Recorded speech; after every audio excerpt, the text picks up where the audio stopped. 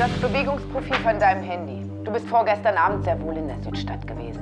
Woher haben Sie denn bitte meine Handynummer? Das sollte dein kleinstes Problem sein. Also, warum hast du gelogen? Ich war nicht in diesem Bonzenviertel. Ich bin da sowieso noch nie gewesen. Sollen wir jetzt wieder von vorne anfangen oder was? Junge, da steht es schwarz auf weiß. Ja, ich war da aber nicht. Und außerdem wurde mir vor ein paar Tagen mein Handy geklaut. Ach ja, klar. Jetzt wurde es geklaut, ja? Ja, Okay. Und wo wurde es geklaut? Keine Ahnung. Wenn ich, wenn ich das wüsste, dann. Äh, mein, wenn, wenn mein Handy wegkommt, dann weiß ich doch, wo es ist, oder nicht?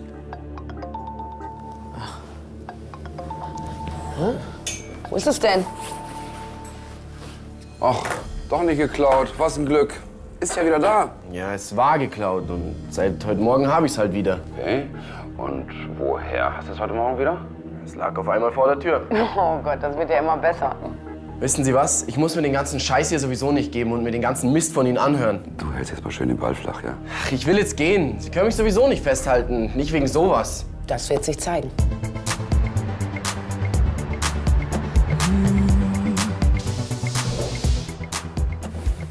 Ja, was gibt's denn so Dringendes? Ja, mein Sohn hat. Hier, das habe ich gefunden. Und das gehört nicht ihm. Nein. Also weder mir noch meinem Sohn und seiner Freundin gehört es auch nicht. Deswegen haben wir sie gleich gerufen. Ist das etwa vom Einbrecher? Ja, das wäre möglich. Allerdings könnte es auch Ihre Putzfrau werden. Ja, wie geht's, Frau Stenzler eigentlich? Tja, leider weiterhin nicht gut. Wo haben Sie das gefunden? Also das lag hier, wissen Sie, hier so halb drunter. Da. Ja, da, da. Also, ich hätte die Spurensicherung alles abgesucht. Das können die eigentlich nicht übersehen haben. Naja, ich war aber dabei, als Arvid das Feuerzeug gefunden hat. Und vielleicht haben sie ihre Kollegen was übersehen, vielleicht haben sie einen Fehler gemacht. Tja, war nicht so ein. Das lag aber definitiv darunter. Ja. Okay, wunderbar. Schick's mir gleich aufs Handy, ja? Danke. Ciao. Und, wie geht's dem Mädchen? Naja, schon besser. Die Ärzte haben sie jetzt aus dem künstlichen Koma geholt. Ja, das ist gut. Dann können wir bald mit ihr sprechen. Es wird noch ein bisschen dauern. Also vor allem braucht es jetzt erstmal Ruhe. Aber die Ärzte informieren uns, sobald sie stabil ist. Okay. Die Fingerabdrücke auf dem Feuerzeug gehören zu einem Marcel Schreiber, 18 Jahre alt. Und warum haben wir den im System? Oh, Körperverletzung, Diebstahl, Verstoß gegen das BTMG. Aber kein Einbruch. Na gut, das heißt ja nichts. Er kann trotzdem unser Mann sein. Dann reden wir doch gleich mal mit ihm. Wo wohnt denn der? Steiermarkstraße 13, ganz in der Nähe des Bahnhofsviertels. Okay. Das hat bei seinen Eltern gemeldet.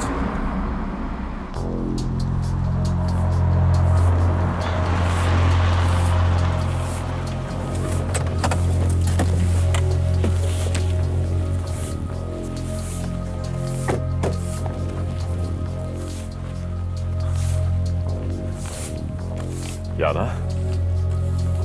Was machst du denn hier? Ich arbeite hier. Hab leider nicht so ein Glück wie mein Freund. Muss mir mein Taschengeld selber verdienen. Verstehe. Und Sie? Was machen Sie hier? Wir wollen mit Marcel Schreiber sprechen. Seine Mutter hat gesagt, dass wir ihn hier finden. Marcel, der ist im Gruppenraum. Hat er was angestellt? Hat dein Freund dir von dem Feuerzeug erzählt, das er heute Morgen unterm Sofa gefunden hat? Er hat mich sofort angerufen. Aber ich rauche nicht, deswegen habe ich auch nie Feuer dabei. Naja, vielleicht gehört das Feuerzeug Marcel. Was? Jetzt reden wir erst mal mit ihm.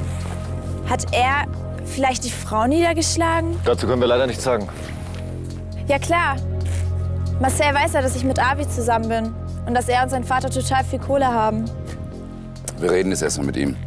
Da drin im Gruppenraum sagst du, ja? Danke.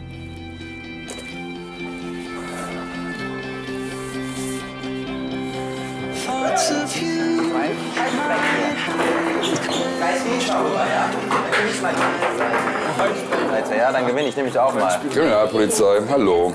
Ja. Freunde, ohne Ball ist doch eh langweilig, oder? Was soll denn der Scheiß jetzt? Hä? Marcel Schreiber, Ja, und? hast du das schon mal gesehen? Ja. Das ist meins. Wo habt ihr das her? Wir haben das Feuerzeug aus der Villa der Knechts. Okay. Wo kommt, wie kommt das da hin? Tja, das wollten wir dich ja nicht fragen. Ich habe keine Ahnung. Ich war noch nie da. Aber du warst doch sicher schon mal auf der Dienststelle einer Polizei. Ja, und? Dahin begleitest du uns jetzt. Boah, was soll denn das jetzt wieder? Ey, ihr habt den Falschen, ja? Ja, das werden wir dann noch sehen. Komm, Jacke anziehen, mitkommen. jetzt?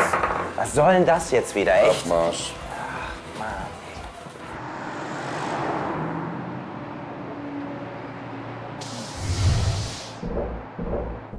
Ich war noch nie in dem verdammten Haus der Familie Knecht, ey. Das müsst ihr mir glauben.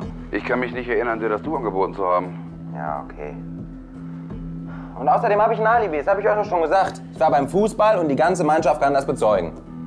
Ein Kollege von uns überprüft das ja auch gerade. Ja, gut. Hast du denn irgendeine Erklärung dafür, wie dein Feuerzeug in die Villa gekommen ist?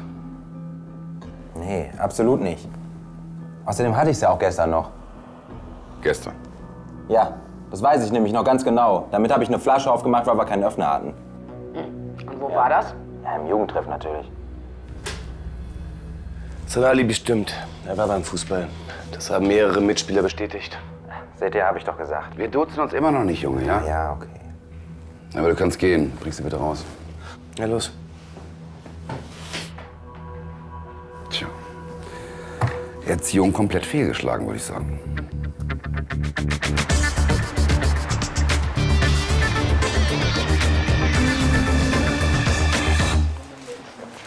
Sag mal, Robert, sitzt du eigentlich bequem?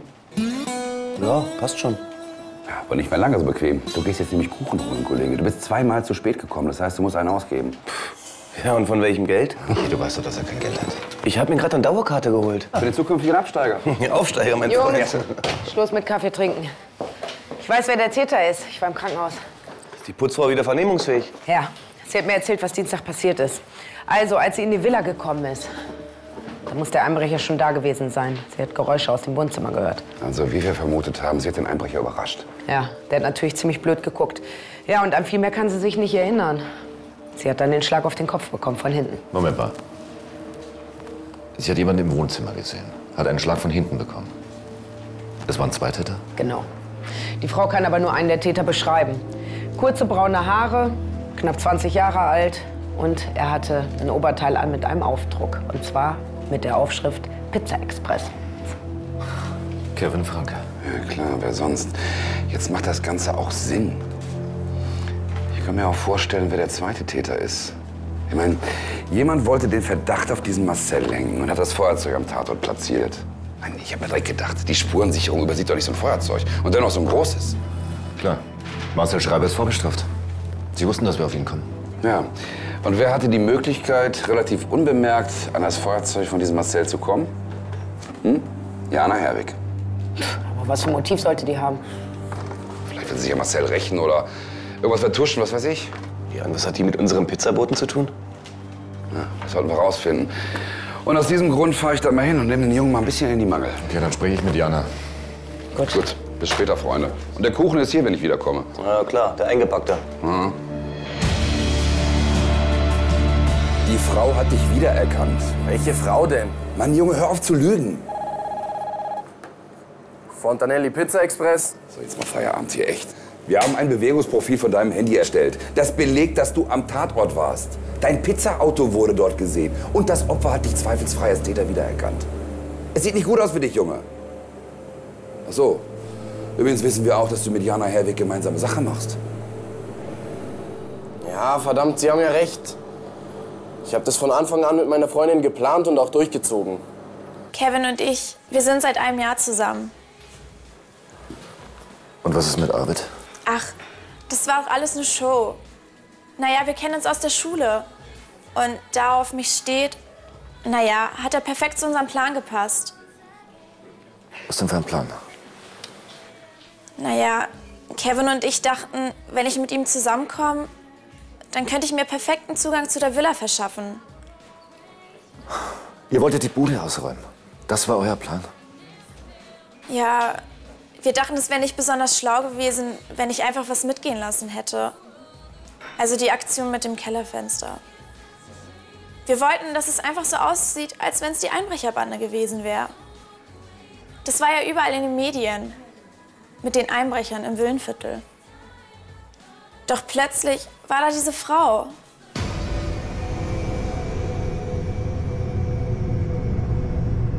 Wer sind Sie? Was machen Sie hier? Ich rufe die Polizei. Hey, was soll das? Ach du Scheiße! Scheiße. Wo, wo kam sie denn her? Ist sie tot? Ich weiß nicht. Lass uns einfach schnell abhauen.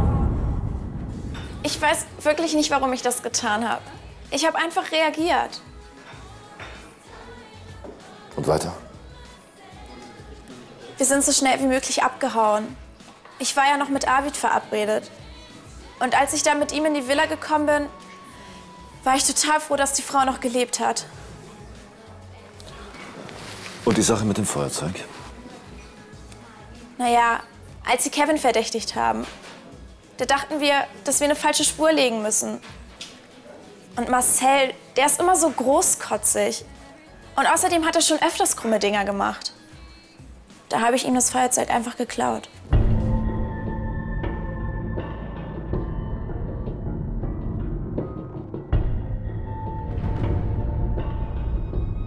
Ihr wolltet einen Unschuldigen reinreiten. Wegen ein bisschen Kohle? Wir hätten das Geld wirklich gebraucht. Wofür? Ich bin schwanger. Kevin und ich kriegen ein Baby. Ich bin im dritten Monat. Meine und seine Eltern sind dagegen. Mein Vater hat gesagt, dass er mich rausschmeißt, wenn ich das Kind behalte. Ihr wolltet also mit dem Geld abhauen. Ja. Wir wollten einfach an einen anderen Ort. Eine kleine Familie gründen. Mehr wollten wir doch gar nicht.